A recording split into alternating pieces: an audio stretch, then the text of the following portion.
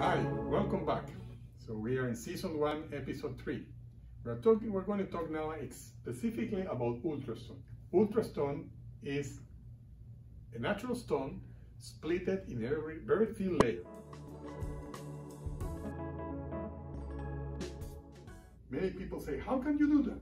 So it's very simple. The nature of the stone, they cliff in natural planes. So whenever we do a tile, it's about 3 eighths, half 18, but this one is only about 1 32nd of an inch, very thin. They're flexible, they're bendable, so you can do columns, see? And it's very light. So it's a technique that has been developed after years of, of uh, research. And what they do, there is in the back, there is a fiberglass or polyester mesh that will keep the stones safe and hold it to make it last forever. So this surface is completely waterproof. There, there is no water coming through here.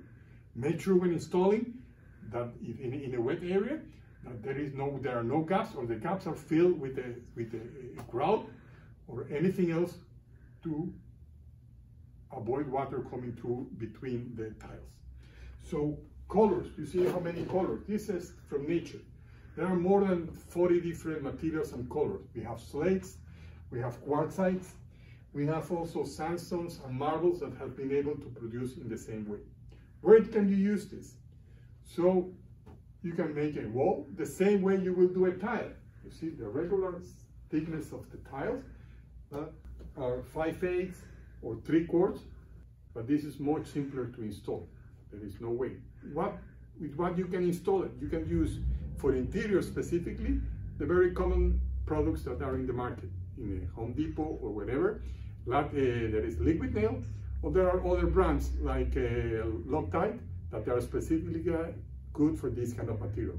Remember, you cannot use any water base because it will not stick to the back of the mass ultrastone, and you cannot use any cement base because there is no air. It's completely closed, so there is no air transmission and you need oxygen to cure the cement.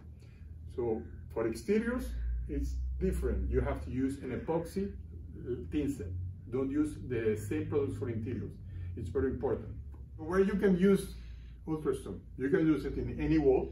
You can use it on top of any surface because it only depends on the glue you're going to use to attach it. So you can use it in furniture, in the kitchen, you can use it in a bathroom, you can use it outdoors, in a wall. You can use it whatever you want. Actually, it's very convenient.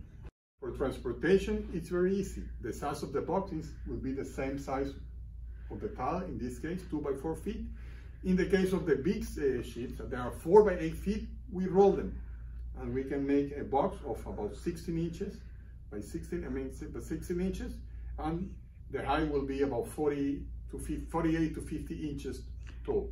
So you can roll up, up to eight pieces in one roll and make it easy for transportation. Very convenient to use, very nice, very natural. Use it everywhere you want. Ask us for any other details you need to use the Ultrastone. Welcome to use it.